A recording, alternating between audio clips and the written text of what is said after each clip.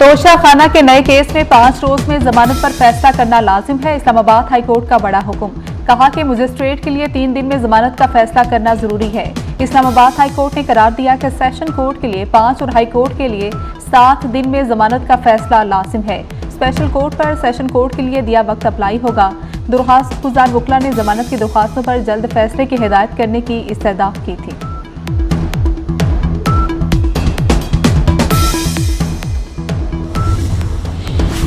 आलमी और इलाकाई चैलेंजेस से निपटने के लिए अमेरिका पाकिस्तान के साथ खड़ा है। अमेरिकी सदर जो बाइडन कहते हैं कि पाक अमेरिका ताल्लुकात इलाकाई इसकाम और सलामती के लिए अहम है।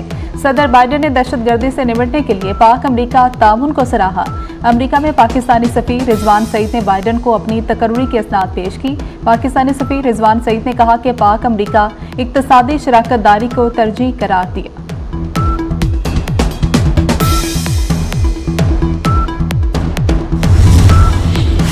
नवाब शाह में दो बहनें कत्ल, थाना बीस सेक्शन के इलाके मुहाजिर कॉलोनी में भाई ने दो बहनों को बिजली का करंट लगाकर मौत की नींद सुला दिया।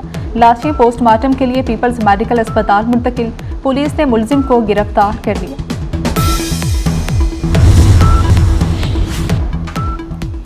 फलस्तीन के क्याम तक इसराइल से ताल्लुकात नहीं होंगे। सऊदी वली अहद शहजादा मोहम्मद बिन सलमान का दो टोक मौकफ कहते हैं, मसला फ़लस्तीन सऊदी तरजीहत में सर फहरिस्त है। फ़लस्तियों के खिलाफ हमलों की शदीद मजम्मत करते हैं। मोहम्मद बिन सलमान का आलमी बरदरी पर मसला फ़लस्तीन का हल यकीनी बनाने पर ज़ोर।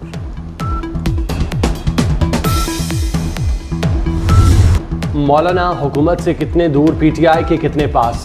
फजल रहमान की असद कैसर के जहराने में शिरकत, अंदर खुशगवाल माहौल में बातचीत, बाहर हुकूमती मुसबदा मुस्तरद करने का ऐलान कर दिया। बोले, तरामीम का मुताल किया, किसी सूरत काबिल कबूल नहीं मुजवजा तरामीम की हिमायत अमानत में ख़यानत होती।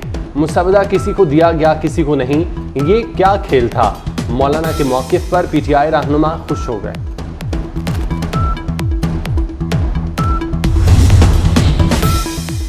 हुकूमत की फिर मौलाना को मनाने की कोशिश, वज़ीर दाखिला मोहसिन नकवी की मौलाना फजल रहमान की रिहाइश गाह आमद। जे यू आई सरबराह से मुलाकात की। वज़ीर दाखिला ने मौलाना से आईनी तरमीम से मुतल मुसाफिर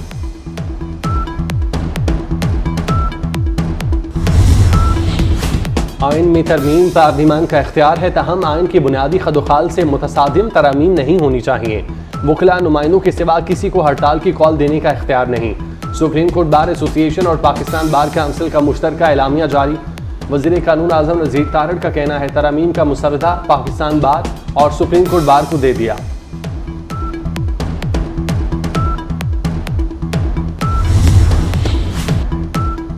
बिलावल भुट्टो की सरबराही में पीपल्स लॉयर्स फोरम के सूबाई सदूर का इजलास। चेयरमैन पीपल्स पार्टी ने मुजवजा आइनी तरमीम पर पेशरफ से आगाह किया। मुजवजा आइनी अदालतों के क्याम के हवाले से भी गुफ्तु हुई। पाकिस्तान और रूस के दरमियान मफामती यादाश्तों पर दस्तखत। वजारत खारजा में तकरीब में नायब वजी अजम इसाकदार और रूसी हम मनसब की शिरकत। तजारत और मीशत में दो तरफा मफामती यादाश्तों पर दस्तखत किए गए।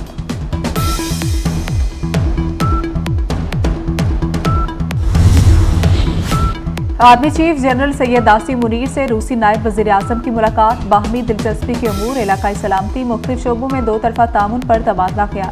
आर्मी चीफ का रूस से रवायती दिफाई ताल्लुक को फरोग के अज़म का यादा रूसी नायब वजी अजम ने दहशत गर्दी के खिलाफ पाकिस्तानी कोशिशों की तारीफ़ की। अमन के लिए पाक फौज के किरदार को सराहा।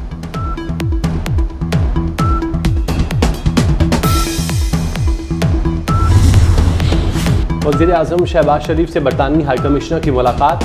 दोनों ममालिक के ताल्लुक मजीद मज़बूत करने के लिए मिलकर काम करने के आज़म का यादा बरतानवी हाई कमिश्नर का पाकिस्तान के लिए नए ख्वाहिशात का इजहार।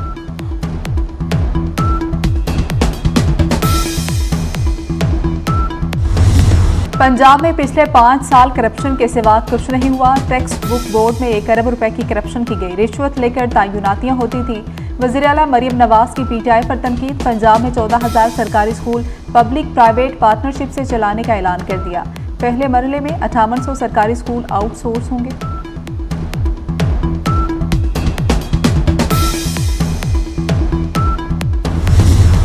पीटीआई की मुश्किल बरकरार। इंट्रा पार्टी इलेक्शन तस्लीम न करें तो तंजीबी ढांचा नहीं रहेगा। इलेक्शन कमीशन हुकाम ने पीटीआई पर बाजी कर दिया।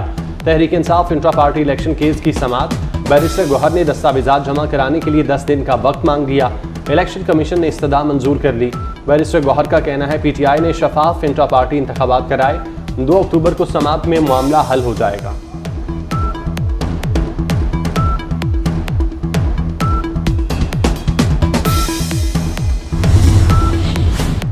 जेयूआई ने इंट्रा पार्टी इंतबात के लिए 60 रोज की मोहलत मांग ली। जेयूआई की इस्तः पर इलेक्शन कमीशन ने फैसला महफूज कर लिया। जेयूआई के वकील ने कहा कि अभी आईनी तरमीम भी चल रही है, जिस पर चीफ इलेक्शन कमिश्नर ने रिमार्क्स दिए। आईनी तरमीम से तो पार्टी इलेक्शन का ताल्लुक नहीं इंट्रा पार्टी इलेक्शन न कराने पर इंतबी निशान वापस और पार्टी डी नोटिफाई हो सकती है।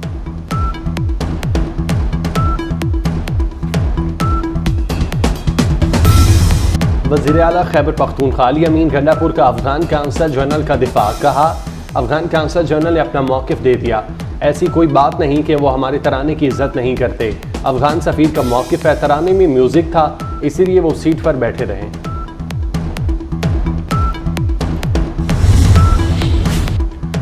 इस्लामाबाद हाई कोर्ट ने 190 मिलियन पाउंड रेफरेंस का हतमी फैसला देने से रोक दिया। चीफ जस्टिस आमिर फारूक और जस्टिस मियाँ गुल हसन औरंगज़ेब ने हुक्म जारी किया। अदालत की बानी पीटीआई और बुशरा बीबी के बुकला को मुतल दस्तावेजा जमा कराने की हिदायत समाज 26 सितंबर तक मुलतवी कर दी गई। हुकूमत से माहदे की डेडलाइन खत्म होने वाली है। तेईस सितंबर को मोहलत खत्म होने पर लाहे अमल देंगे। अमीर जमात इस्लामी हाफिज नईमुर रहमान का हुकूमत को पैगाम। कहते हैं पहिया जैम, हड़तालें, लॉन्ग मार्च और ट्रेन मार्च करेंगे। हुकूमत के पास आवाम को रिलीफ देने के सिवा कोई ऑप्शन नहीं।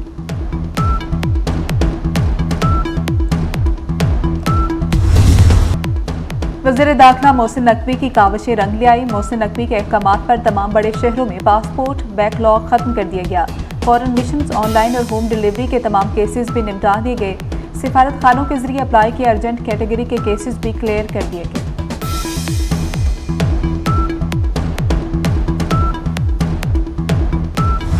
मकबूजा कश्मीर में भारत के एक बार फिर ढोंग इंतबात कश्मीर असम्बली के नब्बे हलकों में से चौबीस में पोलिंग इंतबात के लिए मकबूजा कश्मीर को छावनी बना दिया गया।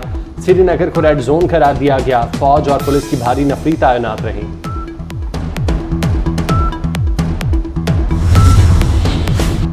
आईसीसी वफ्त का चैंपियंस ट्रॉफी इंतज़ाम का जायजा लेने के लिए पाकिस्तान का दौरा, कराची में नेशनल बैंक स्टेडियम का दौरा, सिक्योरिटी और दीगर अमूर का जायजा लिया। पीसीबी हुकाम ने वफ्त को ब्रीफिंग दी वफ्त दौरे के बाद अपनी रिपोर्ट मुरतब करेगा।